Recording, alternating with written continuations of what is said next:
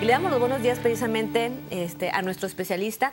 Doctor, bienvenido, gracias por acompañarnos. Y, y, bueno, ahorita van a aparecer todos los datos sobre este tema. El doctor Roberto Farías es otorrino laringólogo. Bienvenido, doctor. Muy, muchas gracias otra vez. A ver, doctor. De nuevo por aquí. Con bienvenido. usted. Buenos días. Gracias. Doctor, aquí tenemos ahorita, vamos a enfocar en la cámara, digo, ya hablamos sobre algunos tratamientos, sobre cómo se puede saber si la persona padece de sordera. Una vez que se ha detectado este problema, doctor, ¿hay solución en algunos casos? Claro, claro. En una gran, eh, una gran mayoría de los casos sí hay, hay solución, afortunadamente.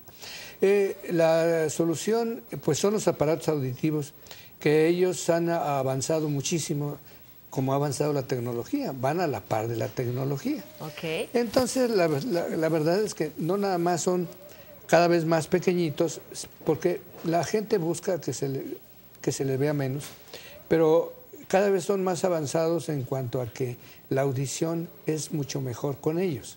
Okay. Yo, les, yo les hago la comparación de que estos aparatitos así de pequeñitos son realmente un equipo de sonido como el equipo de sonido que tenemos en casa, o mejor. Ahorita ya no se usan en la casa los ecualizadores. Hace unos años todavía teníamos los ecualizadores. No, pero todavía en los, en los centros, de, en los espectáculos grandes hay muchos ecualizadores. Bueno, pues estos son, esos son ecualizadores. O sea, es como tener uno... Es como, así. En este, wow. en este pedacito hay un ecualizador que diseña con la computadora que nosotros tenemos, okay. con un programa especial, diseña exactamente dónde debe incrementar el sonido. De tal manera que el sonido cada vez se hace más claro y más, más nítido y más cómodo. Increíble. ¿verdad? Y por otro lado se eliminan, el, uno de los problemas que tenían los, los, los pacientes con aparatos son los ruidos, porque amplificaban todo, o sea, amplifican no nada más el, el, la voz, que es lo más importante. Okay. Estos aparatos se hacen para comunicarnos, pero el problema eran los sonidos de alrededor. Un claxon, quizá un, un autobús, ¿no? Claro, entonces amplificaban los sonidos de alrededor y, y, eran molestos. Entonces, poco a poco, gracias a la tecnología, han sido, se han ido eliminando de tal manera, no eliminando, sino se han disminuido de tal manera que si, estando en el ambiente, porque tampoco hay que quitar todos los sonidos, los ruidos. Claro. ¿verdad? pero se dé más incremento a la voz. Muy parecido a lo que es el, el, el oído lo humano. que es el oído humano, exacto. Okay. Doctor, vemos aquí eh, de diferentes tamaños y hasta de colores, ¿no? Eh, ¿Esto por qué es? O sea, ¿tienen alguna diferencia entre ellos? Sí, bueno, la, la verdad que sí, son para diferentes pacientes okay. y diferentes necesidades, okay. pero van desde desde estos pequeños que van atrás del oído. Uh -huh. Estos son para niños, por ejemplo, mire, por eso hacen de colores atractivos. Este es, este es un aparato muy bonito. Okay. Este es para un pacientito porque se hacen del color del pelo. Por ejemplo, estos son grises y hay negros y hay cafecitos. Hay de, de, para que pasa desapercibido se, la para vista, que no, ¿no, se noten absolutamente nada. Okay. Y por ejemplo, este aparatito, este, estos dos van dentro del oído, totalmente. ¿Es para un, un, tipo de padecimiento diferente, doctor, o es lo mismo? Es para lo mismo, pero va a depender, bueno, el grado de problema que tiene, si se puede amplificar con un aparato de este tamaño, ah. porque hay personas con mucha una, una disminución auditiva muy profunda. Okay. Entonces no son convenientes, estos son un poquito más grandes, okay. porque necesitan más potencia. Perfecto. ¿verdad? Entonces tiene que, digo, obviamente usted como especialista ya les dirá qué es lo que se necesita, claro, ¿no? Claro, nosotros vamos, los orientamos. Primero les hacemos un estudio y ese estudio eh, que consta no nada más de sonido, sino de, de interpretación de las palabras. Claro. ¿Cuánto ¿verdad? dura un aparato de estos? O sea, ¿tiene baterías o cómo funciona un aparato? Sí, todos usan pila. La fuente de energía es una pila pequeñita pues para que quepa en ese lugar, en ese espacio. Es muy pequeñita, ¿verdad? Ahora, ¿cuánto dura un aparato? Pues años, como dura un radio. Igual. Igual. Y va a ir Son, avanzando la ciencia, obviamente, ¿no? No, cada vez, cada vez tienden a ser más pequeños. Por, por, ejemplo, este más pequeñito, ese va hasta dentro del oído. Okay. No a cualquier paciente se le puede poner, pero ese sí no se le nota absolutamente nada. Es que yo estoy enamorada de los cambios tecnológicos que tiene la ciencia. Doctor, de verdad que, muchas gracias por traernos este, pues lo mejor a Baja California. Estamos charlando precisamente con el doctor Roberto Farías, otorrino laringólogo.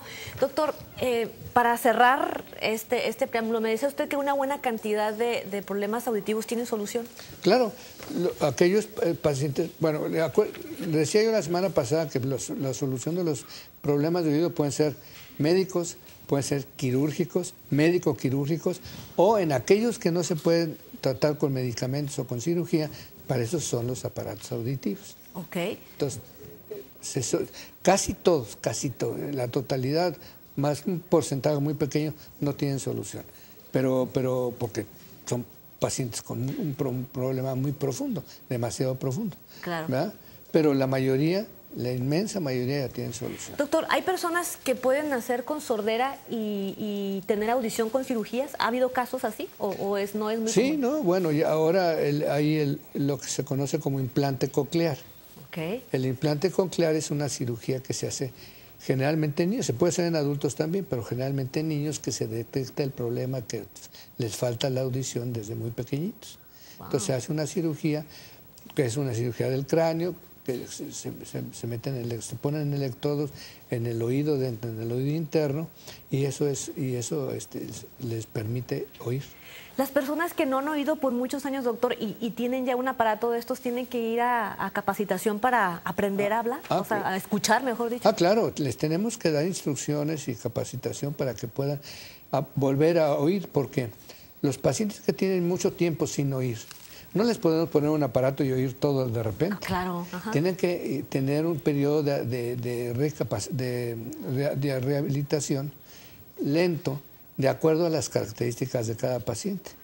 No, no, no, no podemos decir si se lleva una semana, 15 días, un mes o dos meses. Pero eso es básicamente importante, porque ponerle un aparato a una persona que tiene años sin oír y de repente lo ponemos a oír todos los sonidos del, del ambiente, no es cómodo. Entonces, por, eso les decimos, no. Despacito, despacito, Primero nada más los sonidos de casa, va usted acostumbrando de nuevo a cómo suena el ambiente, cómo suena la cocina, cómo suena la televisión, cómo suenan los gritos de los niños. Y no los dejamos salir a la calle hasta que nosotros consideramos que ya lo puede hacer. Es que es volver a aprender, es como estar caminando por primera vez, ¿no, doctor? Sí, es saber lo que, cómo se escucha en autobús, cómo se escucha, este, no sé, el agua, ¿no? Claro, así es, así es. Y, sobre todo los ruidos, por ejemplo, las sirenas, eh, los ruidos de los automóviles, un portazo, la licuadora de la casa, los trastes a lavar, este, son muy sonoros. Porque algunos no son tan agradables como usted dice, ¿no? No, no, muchos ruidos no son agradables, lo que pasa es que estamos nosotros acostumbrados, pero la persona que no oye no está acostumbrada. Claro, por eso es importante la asesoría de un especialista. Así es, tiene que ser así. Pues doctor, le agradecemos mucho, ojalá luego podamos seguir platicando sobre este tema. no? Con mucho gusto, cada vez que me invite aquí estaré. Las cirugías, por ejemplo, puede ser un buen tema, ¿no? claro que sí. Cómo se realizan, cómo se, llevan a cabo. ¿Cómo no? El día que guste. Muchas gracias, doctor. Muchas gracias. gracias.